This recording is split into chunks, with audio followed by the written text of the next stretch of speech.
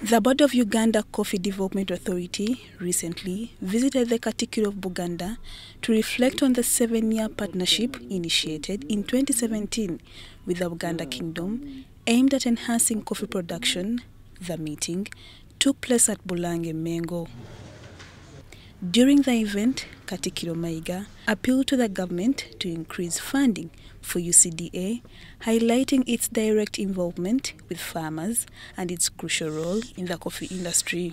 I urge government to reconsider um, the plans of uh, phasing out UCDA. We want to work with them even more. We want to see UCDA in every district in this country because 70% of the population of Ugandans are involved in coffee farming. They're farmers. I think this is an agency that should even finance them more. I, I, they told me they don't have money to give us. They can support us in their humble way. Why should UCDA be supporting us in a humble way?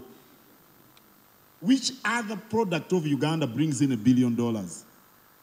I mean, from Ugandans. I know tourists do that. I know, um, I know that uh, the diaspora sends us more money than that. But I'm talking about a product of Ugandans. Mayiga advised UCDA to actively promote Ugandan coffee on the international stage, aiming to attract greater consumption globally. I went to Sweden, and at the airport, this hurt me actually. At the airport, at Stockholm, in the lounge, they took me to their lounge, and they used coffee sacks with which coffee is imported into Sweden as, as decorations. They arrange them so well.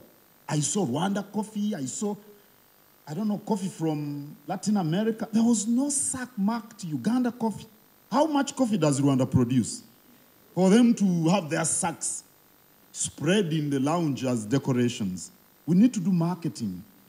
Dr. Charles Mugoya, chairman of UCDA board, affirmed that the results of the partnership between UCDA and the Buganda Kingdom have been tangible and beneficial. We also acknowledge the kingdom's diversification beyond coffee production and productivity, notably the finished roasted product.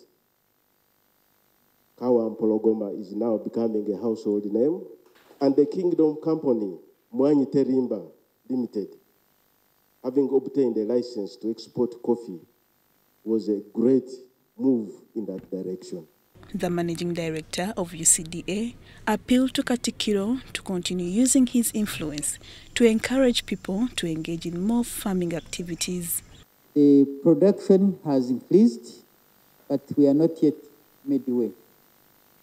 Value, we have surpassed the midpoint, but the production which would have us even more uh, is still low. Uganda has set a target of exporting 20 million bags of coffee by 2030.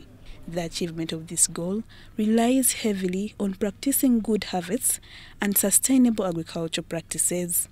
As the UCDA board visits the Buganda Katikkiro, the call to maintain UCDA's independence and increase in its funding remains a crucial aspect in ensuring the prosperity of ugandan's coffee industry. Lydia Chomkama, Andrew Sebira, UBC News.